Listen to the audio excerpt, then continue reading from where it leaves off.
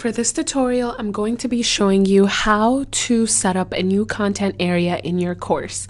So the first thing you're going to want to do is go into the course and you're going to want to look on this side of the screen at your menu.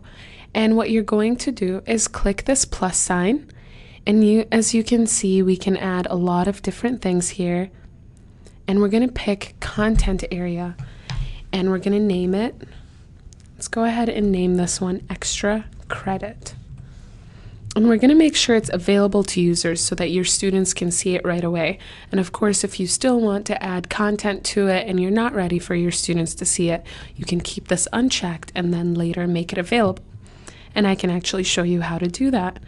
So we're going to click submit and it'll get added to the bottom of the list. Go up here.